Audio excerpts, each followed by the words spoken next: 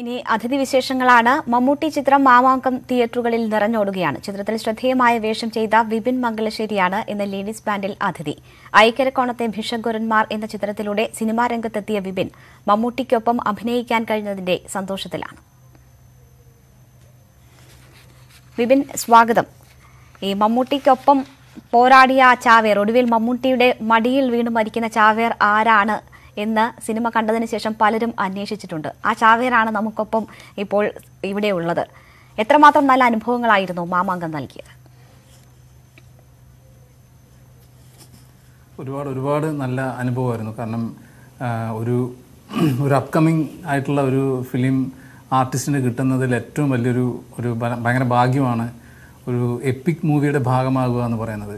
പിന്നെ മമ്മൂക്കയെ പോലുള്ളൊരു ലെജൻഡറി ആക്ടറിന്റെ കൂടെ സ്ക്രീൻ സ്പേസ് ഷെയർ ചെയ്യുക എന്ന് പറയുമ്പോൾ അത് എന്നെ പോലൊരു സാധാരണക്കാരനെ സംബന്ധിച്ച് ഏറ്റവും വലിയൊരു ഭാഗ്യമാണ്. അതിന് എന്നെ ഈ സിനിമയിലേക്ക് ഇൻവൈറ്റ് ചെയ്തിട്ടുള്ള ഡയറക്ടർ പത്മകുമാറിനും അതിന്റെ പ്രൊഡ്യൂസർ വേണുചേട്ടനോടും ഉള്ളൊരു നന്ദി ഈ സമയത്ത് ഞാൻ ഓർക്കുകയാണ്. വിപിൻ ഇതിൽ ഒരു ഈ ചിത്രവുമായി ബന്ധപ്പെട്ട് ചിലരെങ്കിലും ഒരുപാട് തയ്യാറെടുപ്പുകളും പ്രതീക്ഷയുമായി കാത്തിരുന്നെങ്കിലും അഭിനയിക്കാൻ പറ്റാതെ പോയവരുണ്ട്. അഭിനയിച്ചിട്ട് ആ രംഗങ്ങൾ സ്ക്രീനിൽ കാണാൻ പറ്റാതെ പോയവരുണ്ട്. അങ്ങനെയുള്ള സാഹചര്യങ്ങൾ പല പലതുമായി ബന്ധപ്പെട്ടും ആ സിനിമയുടെ മേക്കിങ്ങുമായി ബന്ധപ്പെട്ട് വേണ്ടി വന്നതാണ് അതൊക്കെ. പക്ഷേ വിപിൻ അനുഗ്രഹമായി വന്ന കാര്യങ്ങൾ എന്തൊക്കെയായിരുന്നു?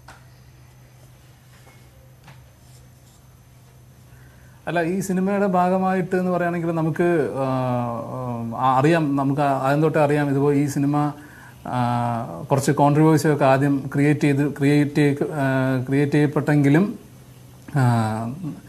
എല്ലാ രീതിയിലും നല്ലൊരു പോസിറ്റീവ് എന്നെ പോസിറ്റീവ് ലെവലിലേക്കാണ് ഈ സിനിമ പിന്നീട് വന്നത്.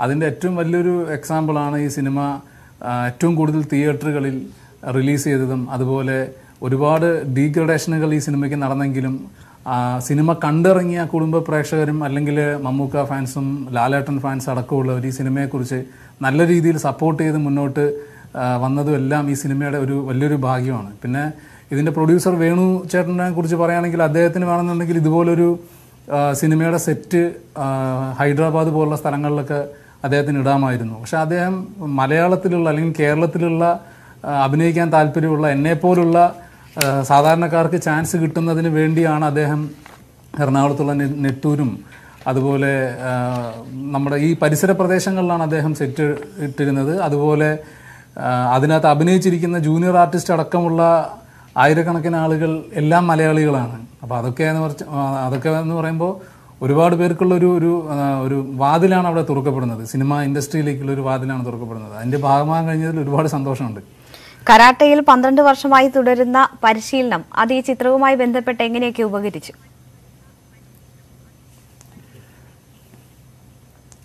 അതായത് ഈ ചിത്രം കാണുന്നവർക്ക് മനസ്സിലാവും. അതായത് ചിത്രം കഴിഞ്ഞിറങ്ങുമ്പോൾ മമ്മൂക്കയുടെ മടിയിൽ മരിച്ചു കിടക്കുന്ന അല്ലെങ്കിൽ മമ്മൂക്കയോടൊപ്പം സംഘടന രംഗങ്ങളിൽ അഭിനയിക്കുന്ന ചാവേർ ആരാണ് ആരാണെന്നുള്ള കുറേ ക്വസ്റ്റ്യൻസ് ഞാനിങ്ങനെ കേട്ടിരുന്നു.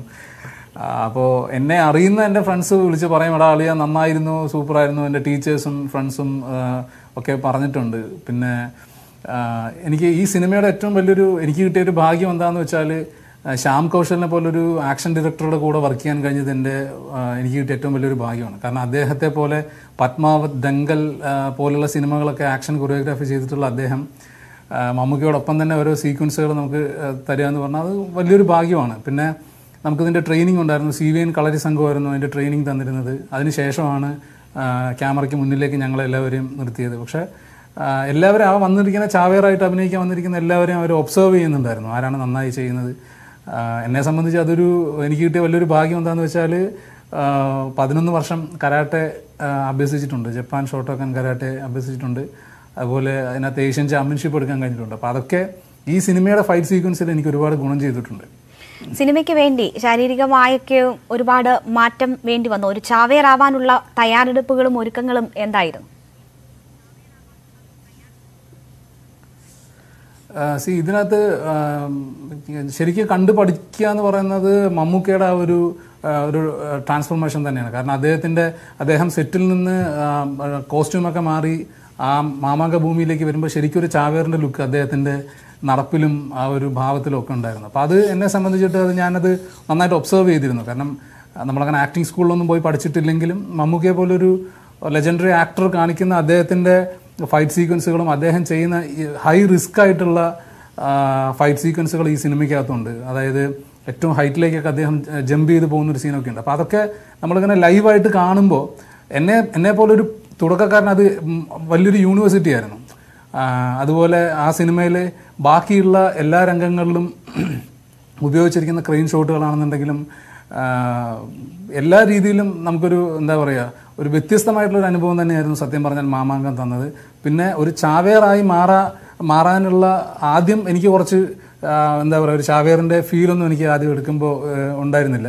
പക്ഷെ അതിനെന്നെ നന്നായിട്ട് സപ്പോർട്ട് ചെയ്ത് എന്റെ ഡയറക്ടർ പത്മകുമാർ സാറാണ്. കാരണം അദ്ദേഹം ഓരോ സീനുകൾ എടുക്കുമ്പോഴും വന്ന് എന്നോട് പറയും ചാവേർ എന്ന് പറഞ്ഞു കഴിഞ്ഞാൽ എല്ലാം നഷ്ടപ്പെട്ടവനാണ്. നമ്മൾ തിരിച്ച് വീട്ടിലേക്ക് പോകാൻ കഴിയാത്ത ഒരാളാണ്. നിന്റെ മരണം ഈ ഭൂമിയിലാണ്. അത് അത് ഉറപ്പിച്ചിട്ടാണ് നമ്മളിവിടെ നിൽക്കുന്നത്. അങ്ങനെയുള്ള ഒരാളുടെ കണ്ണുകളിൽ എങ്ങനെ ആയിരിക്കും നീ ഒന്ന് ആലോചിച്ച് നോക്കിയിട്ട് കുറച്ച് ആ ഒരു ഒരു ഫീലൊന്ന് ഉൾക്കൊള്ളാൻ പറയും. അപ്പോൾ ഞാൻ ആ സെറ്റിൽ ഒരു നമ്മൾ മാറിയിരുന്ന് കുറച്ച് ആ- ഒരു ഫീൽ ഉൾക്കൊള്ളാൻ മാക്സിമം ഞാൻ ട്രൈ ചെയ്തിട്ടുണ്ട്. സിനിമ കണ്ട് ഇറങ്ങിയപ്പോൾ അത് വലിയ കുഴപ്പമില്ലാതെ വന്നു എന്ന് തന്നെ എനിക്ക് തോന്നിയിട്ടുണ്ട്. കാരണം ഒരുപാട് എല്ലാവരും അപ്രീഷിയേറ്റ് ചെയ്യുമ്പോൾ നമുക്കത് ശരി. ഏതാണ്ട് വിപിൻ കുട്ടിക്കാലം മുതൽ തന്നെ സിനിമ മനസ്സിൽ കൊണ്ടു നടന്ന വ്യക്തിയാണല്ലോ. അതിനുശേഷം ഐക്യരക്കോണത്തെ ഭിഷോകരന്മാർ എന്ന ചിത്രത്തിൽ നായകനായി എത്താൻ അവസരം ലഭിക്കുന്നു. അതിനുശേഷം രണ്ടാമത്തെ ചിത്രമാണ് മാമാങ്കം.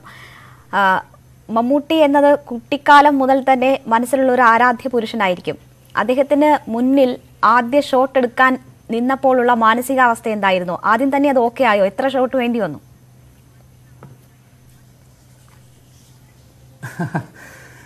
സത്യം പറഞ്ഞു കഴിഞ്ഞാൽ ഈ പറഞ്ഞ പോലെ ഐക്യരക്കോണത്തെ ബിഷപുരന്മാരിലൂടെയാണ് ഞാൻ ഈ സിനിമ ഇൻഡസ്ട്രിയിലേക്ക് വരുന്നത്. അതിനെന്നെ സപ്പോർട്ട് ചെയ്തിട്ടുള്ള എനിക്കതിനൊരു എൻട്രി തന്നത് ഏരീസ് ഗ്രൂപ്പിന്റെ സിഇഒ ശ്രീ സോഹൻ റോയ് സാറാണ് അദ്ദേഹത്തിന്റെ ഇൻഡിവ്യൂ ടാലന്റ് ഹണ്ട് എന്ന് പറഞ്ഞൊരു ഓഡിഷനിലൂടെയാണ് ഞാൻ ഈ സിനിമ ഇൻഡസ്ട്രിയിലേക്ക് വരുന്നത്. പക്ഷേ ചെറുപ്പം മുതൽ തന്നെ സിനിമ എന്ന് പറഞ്ഞു കഴിഞ്ഞാൽ അതൊരു വലിയൊരു പാഷനായിരുന്നു കാരണം എന്താ പറയുക സിനിമയ്ക്ക് വേണ്ടി ഒരുപാട് വർക്കൗട്ട് ചെയ്തിട്ടുണ്ട്. കാരണം വേറെ വേറെ എന്നുള്ള രീതിയിലല്ല ഒരു കരാട്ടെ അഭ്യസിക്കാൻ പോകുമ്പോഴും കർണാട്ടിക് സംഗീതം പഠിക്കാൻ പോകുമ്പോഴും പിന്നെ മിമിക്രി പ്രാക്ടീസ് ചെയ്യുമ്പോഴും അങ്ങനെ എല്ലാം നമ്മുടെ കയ്യിൽ എന്തെങ്കിലുമൊക്കെ വേണം എന്ന് ആഗ്രഹിച്ചിരുന്ന ഒരാളാണ്. കാരണം പാലക്കാട് ജില്ലയിൽ നിന്നാണ് ഞാൻ വരുന്നത്. ചെറിയൊരു ഉൾപ്രദേശമാണെങ്കിൽ തന്നെ മാക്സിമം എന്റെ അച്ഛനും അമ്മയും നല്ലൊരു സപ്പോർട്ട് എനിക്ക് തന്നിട്ടുണ്ട്. കാരണം നമ്മൾ അവൻ എന്തെങ്കിലും ആവാൻ കഴിയുവാണെങ്കിൽ ആയിക്കോട്ടെ എന്ന് ചിന്തിച്ചിട്ടായിരിക്കാം എനിക്കറിയില്ല.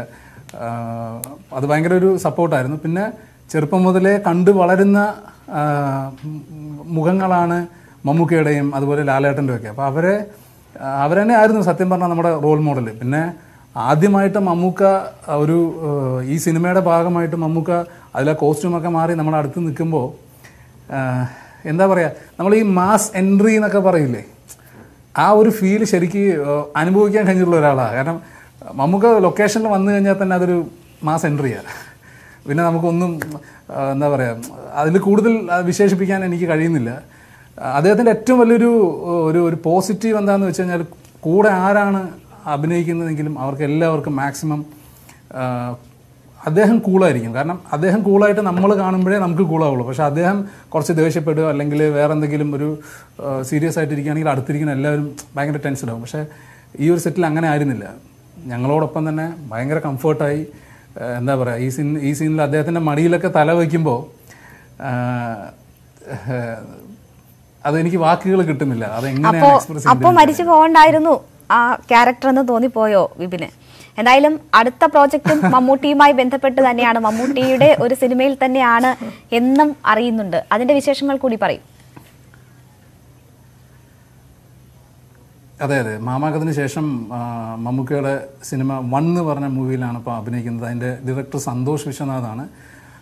അതിനകത്ത് ഇതിന്റെ എന്റയർലി ഡിഫറെന്റ് ആയിട്ടുള്ള ഒരു പൊളിറ്റീഷ്യൻ ആയിട്ടാണ് അതിനകത്ത് വേഷപ്പെടുന്നത്. ഒരു ചെറിയൊരു ക്യാരക്ടറാണെങ്കിലും മമ്മൂക്ക അത് സെറ്റിലൊക്കെ വെച്ച് കാണുമ്പോൾ ഇവനല്ലേ എന്റെ മടി കിടന്ന് മരിച്ച ഇതൊക്കെ ചോദിച്ച് ഭയങ്കര പുള്ളി നോട്ട് ചെയ്തു എന്ന് അറിയുമ്പോൾ തന്നെ കിട്ടുന്ന ഒരു സന്തോഷമുണ്ട്. അത് വളരെ വലുതാണ്. പിന്നെ അതുപോലെ ജോർജ് ചേട്ടനാണെങ്കിൽ അദ്ദേഹത്തിന്റെ മാനേജർ ആണെന്നുണ്ടെങ്കിലും ഇപ്പോൾ അതുപോലെ ഞങ്ങൾ മാമാങ്കത്തിന്റെ പ്രൊമോഷന്റെ ഭാഗമായിട്ട് ദുബായിലുണ്ടായിരുന്നു.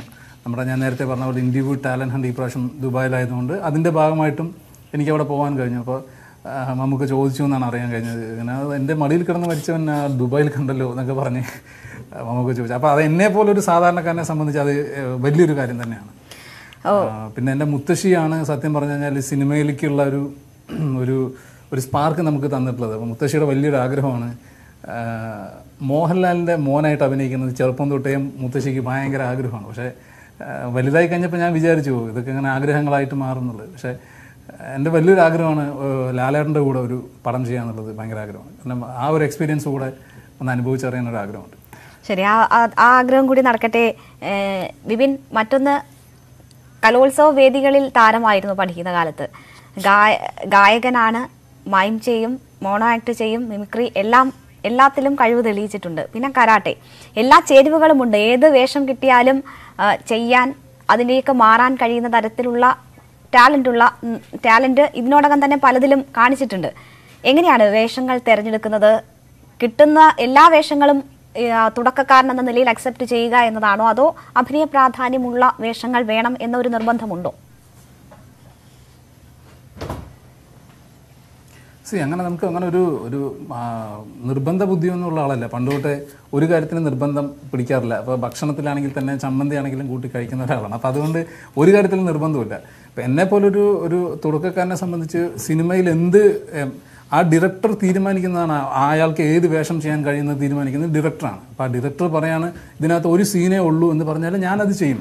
എനിക്ക് അതിനകത്ത് നമ്മൾ പോയിട്ട് അയ്യോ പറ്റില്ല കേട്ടോ. എനിക്കൊരു നായകനോ അല്ലെങ്കിൽ ഭയങ്കര ക്യാരക്ടർ റോൾ വേണം. അങ്ങനൊന്നും പറയില്ല. കാരണം നല്ല ഡയറക്ടറും നല്ല സിനിമയും എല്ലാ സിനിമകളും നല്ലതാണ്. നല്ല പ്രൊജക്റ്റുകളുടെ ഭാഗമാകുക എന്നാണ് ഞാൻ ആഗ്രഹിക്കുന്നുള്ളൂ. അല്ലാതെ വേറെ നിർബന്ധമൊന്നുമില്ല. ശാസ്ത്രീയ സംഗീതം കാര്യമായി തന്നെ പഠിച്ചിട്ടുണ്ടോ? ഏതെങ്കിലും ഒരു പാട്ട് പ്രേക്ഷകർക്ക് വേണ്ടി പാടാൻ താല്പര്യമുണ്ടോ?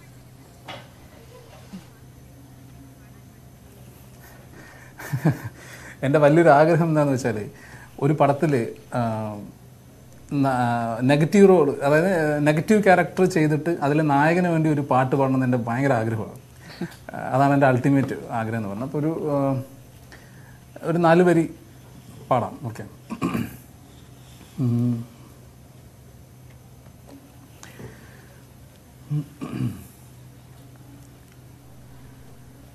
കോവിലിൽ പുലർവേളയിൽ ജയദേവഗീതാലാപനം കേവലാനന്ദാമൃത തിരയാഴിയിൽ നീരാടി നാം പുത്തിലഞ്ഞീ ചോട്ടിൽ നറുമുത്തു കോർക്കാൻ പോകാം. ആന കേറാമേട്ടിൽ ഇനിയായിരത്തിരി കൊളുത്താം ഇനിയുമീ തൊടികളിൽ ഇളവേൽക്കാൻ മോഹം. ശ്രീരാഗമോ തേടുന്നു നീ വീണതൻ. പൊൻതന്ത്രിയിൽ സ്നേഹാദ്രമാം ഏതോ പദം തേടുന്നു നാം.